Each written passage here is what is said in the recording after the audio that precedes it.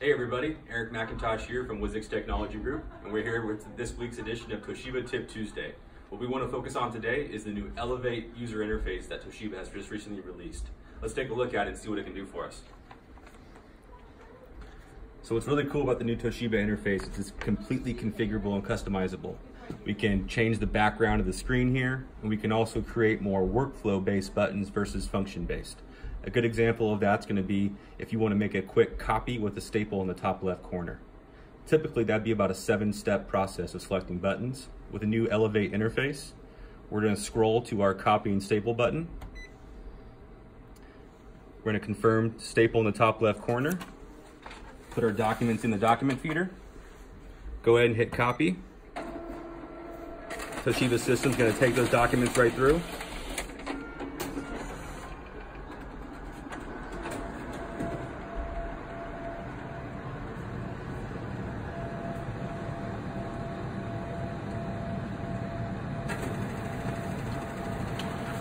Here comes our print job. As you can see, we made a quick copy and staple in just two steps.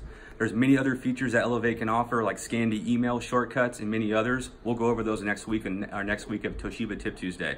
Thank you. See you next week.